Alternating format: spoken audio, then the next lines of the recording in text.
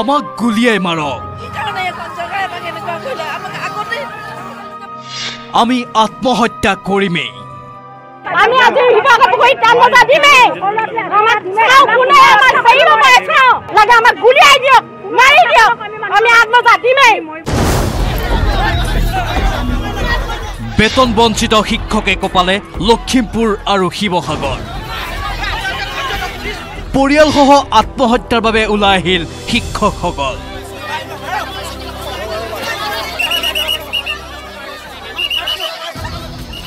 চৰকাৰী প্ৰতাৰণাৰ বলি শিক্ষকৰ ভয়ংকৰ প্ৰতিবাদ। অসহায় শিক্ষকৰ সমূহীয়া আত্মজাহৰ কাৰ্যসূচী।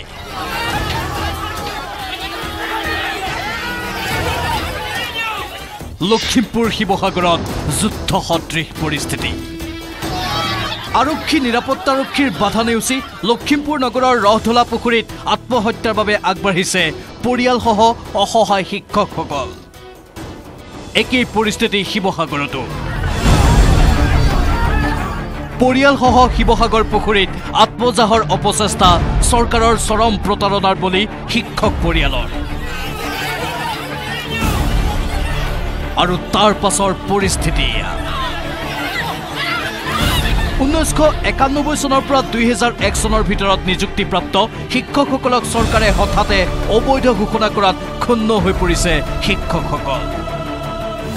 আত্মসন্মানত আঘাত সানি শিক্ষকসকলক আজি অবৈধ আখ্যা দি তেওঁলোকে চাকৰিৰ পৰা বৰ্খাস্ত কৰিবলৈ লোৱা হৈছে। গতিকে আমি এই বোজা তেওঁলোকৰ পৰা ল'ব বিচৰা নাই। গতিকে আমাৰ আত্মসন্মান আছে আমি এই বোজা লোৱাৰ আগতেই পৰিয়ালবৰ্গ লৈ আহিছোঁ। পৰিয়ালবৰ্গৰ সৈতে আজি আমি শিৱসাগৰৰ বৰপুখুৰীত আত্মজা দিবলৈ আজি প্ৰতিজ্ঞাবদ্ধ হৈছোঁ।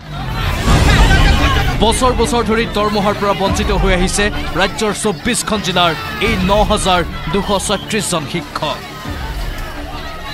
যাৰ পৰিণতিত শিক্ষকসকলৰ বৰ্তমান পানীত হাঁহ নচৰা অৱস্থা।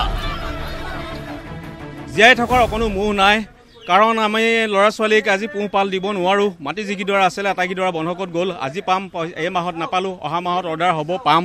হ'ব এনেকৈ ধাৰ কৰোঁতে কৰোঁতে টেটুগুৰিলৈকে ধাৰ পালেগৈ। জীৱনলৈ চৰম অন্ধকাৰ নামি অহা এইসকল দুৰ্ভগীয়া শিক্ষকে তীব্ৰ ক্ষোভ উজাৰিলে পৰিৱৰ্তনকামী চৰকাৰৰ বিৰুদ্ধে। শিক্ষকসকলৰ প্ৰশ্ন যদি আমি অবৈধ শিক্ষক কিয় দায়িত্ব দিছিল চৰকাৰী কাম কাজৰ শিক্ষকে আজিও দৰমহা পাই পৰিয়াল চলাই আছে। আমাক কি কাৰণে বৰ্খাস্ত কৰিলে? আমাক কিয় অবৈধ বুলি ভাবিলে? লোকৰ পিয়লত লগাইছে। আৰু ধৰি লওক আমি এতিয়া সৰ্বশিক্ষাৰ যিবিলাক ট্ৰেইনিং হৈছিলে প্ৰত্যেকটো আমাক ট্ৰেইনিঙত ট্ৰেইনিং দিয়াইছিলে। আৰক্ষীৰ বাধাৰ বাবে কোনো শিক্ষকে আত্মজাহ দিব নোৱাৰিলে ঠিকেই। কিন্তু চৰকাৰৰ পৰা কোনো স্পষ্ট বাৰ্তা নাপালে এইসকল বঞ্চিত শিক্ষকে।